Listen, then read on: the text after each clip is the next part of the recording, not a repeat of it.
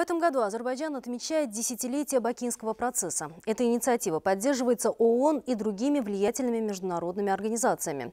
Бакинский процесс является уже важной частью мировой повестки дня. О значимости этой инициативы мы поговорим с гостем нашей студии, политологом Тофиком Аббасовым. Здравствуйте, Тофик Мяли. Здравствуйте. Как за эти годы Бакинский процесс смог себя проявить?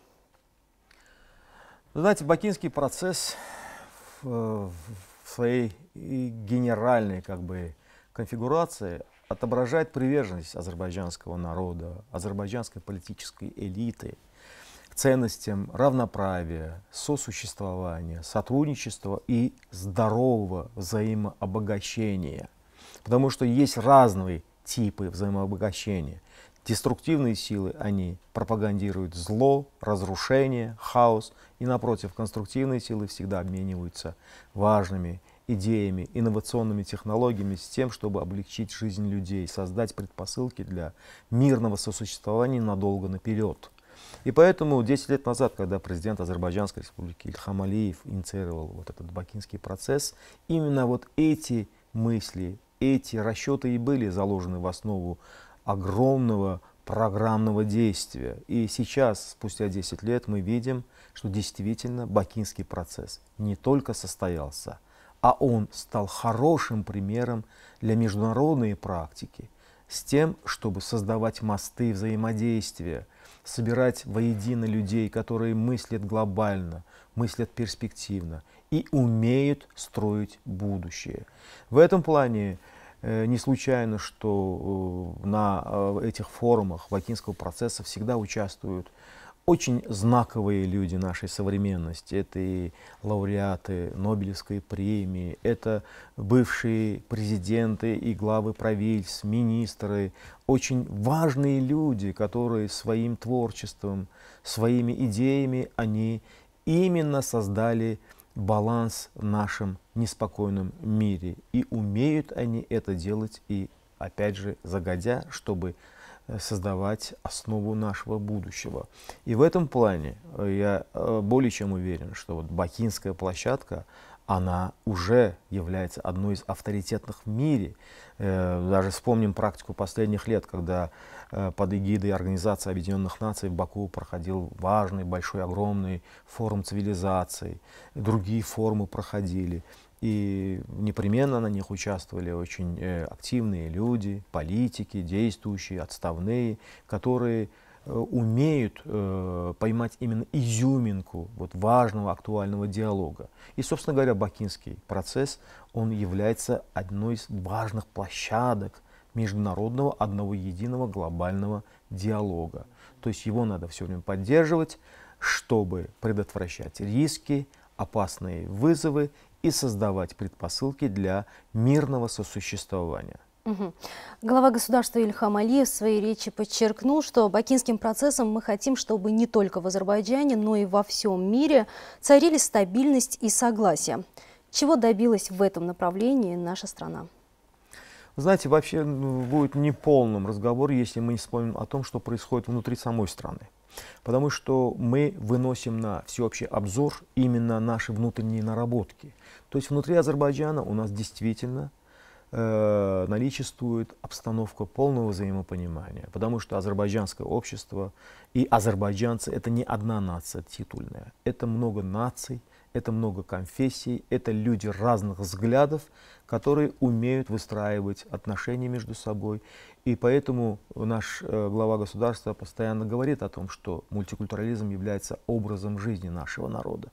То есть мы издавна и сейчас в наших современных условиях умеем наладить такой режим, создать такую атмосферу, когда действительно люди свободно общаются, э, вне зависимости от того, что у них разные религиозные взгляды, разные традиции, у них разные этнические корни.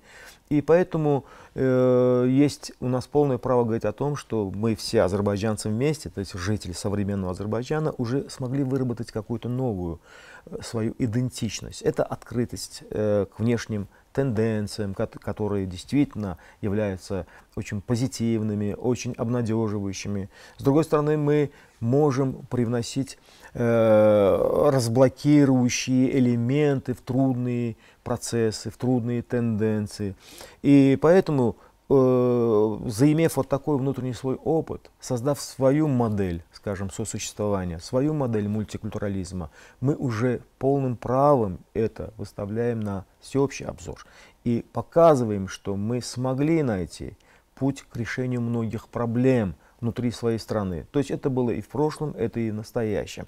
То есть, э, вы знаете, вот э, межнациональные отношения, межрелигиозные отношения, это проблемы, которые не имеют полного завершения. То есть с ними надо заниматься постоянно, потому что есть какие-то деструктивные элементы, которые иногда нарочито пытаются обострить обстановку в той или иной стране, создать, скажем, обстановку хаоса, чтобы потом добиться реализации своих сомнительных каких-то интересов и так далее. И поэтому любая умная, дальновидная власть, она всегда, во-первых, умеет высчитывать расчеты будущего и идет на опережение, то есть предвосхищает возможные трудности.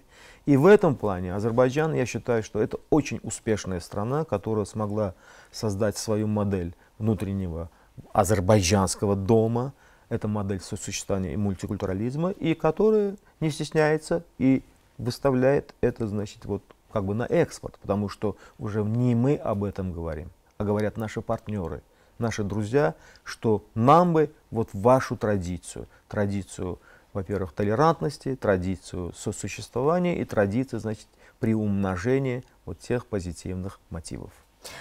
Все это, конечно же, оказывает огромное влияние на международный авторитет Азербайджана. Наряду с этим нашу страну избрали членом Межправительственного комитета ЮНЕСКО по сохранению нематериального культурного наследия. Как можно оценить оказанное Азербайджану доверие? Ну, я думаю, что вот это, это тоже есть в своем роде очень важный прорыв. Э, то есть, возможно, кому-то покажется, это незначительный какой-то вот успех. Ну, а в самом деле это тот самый успех, который э, раскрывает именно сущность формулы которая является успешной для внутриазербайджанского дома. То есть для нас все то вечное, доброе, полезное, что рождено гением, скажем, наших людей, нашей интеллигенции, наших народных умельцев, это все важно, потому что мы даем возможность людям для самовыражения. И люди разные по своим способностям, по своим видениям, по своим вкусам. И если они умеют реализовать свои личные качества, свой духовный потенциал, творческий потенциал, свои моральные какие-то видения, то это прекрасно. Значит, это как раз-таки вот наш прорыв в ЮНЕСКО на уровне этой престижной организации показывает, что все, что мы делаем внутри азербайджанского дома и та обстановка, которая у нас здесь существует, она более чем э, презентабельная, она более чем полезная, исходя из вызовов будущего тоже. То есть надо не мешать людям создавать и материальные блага, и какие-то творческие блага. И на этой вот э, волне всегда э, рождается многообразие. То есть многообразие внутри азербайджанского дома и многообразие, которое существует вне наших национальных рубежей, это вот то самое между две категории, между которыми должны быть всегда связующие мосты. Потому что из многообразия всегда э, формируется единство.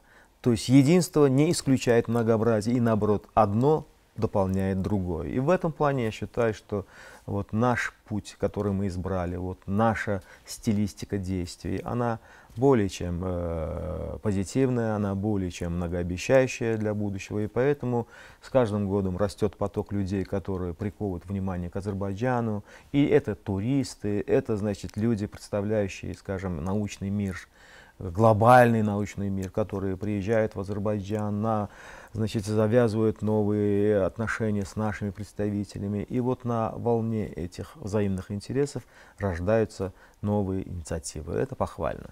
Благодарю вас за ответ. Спасибо. О вкладе Азербайджана в утверждение идей толерантности, а также в стабильность и безопасность во всем мире мы говорили с политологом Тойфиком Аббасовым.